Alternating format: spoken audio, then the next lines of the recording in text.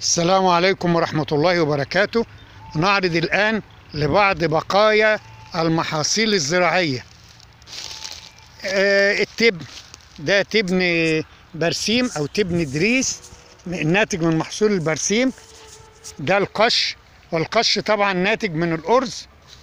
دي بالات قش مكبوسة. هذه بالات قش تم كبسها.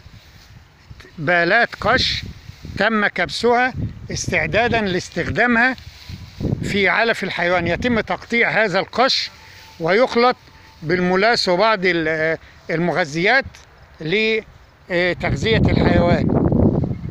فده قش مكبوس. ده تبن القمح. هذا تبن قمح. قدامنا ده. ده التبن الأبيض ده تبن قمح. اللي هو يتم تقطيع سيقان القمح لتغذية الحيوان ويتم خلطة يعني هذا التبن يتم ده تبن. يعني سيقان القمح مقطعة. يتم خلطها بالكزب وبعض المغذيات لتغذية الحيوان. يض- يضاف له الكزب أو بعض المغذيات. تبن القمح. قلنا التاني ده تبن ال- اللي اسمر شوية ده تبن البرسيم.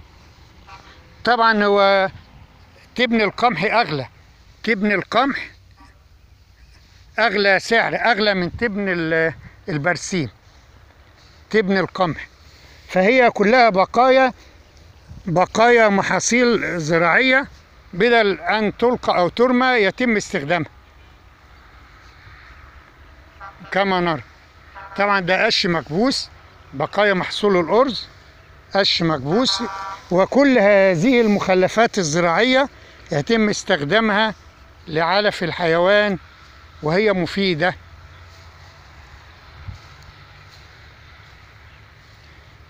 قام المزارع بتغطية التبن بال- بالقش لحمايته يعني ده تبن القمح هو بي بيغطيه يعني لحمايته من أي عوامل جويه أو إن هو يطير أو يتطاير. يعني ممكن يطير القمح كده. فإحنا كده بنتكلم عن بعض الأعلاف أو بعض المخلفات الزراعية آه، اللي ممكن نستخدمها كأعلاف. تبن القمح القش الأرز آه، تبن البرسيم. وشكرا.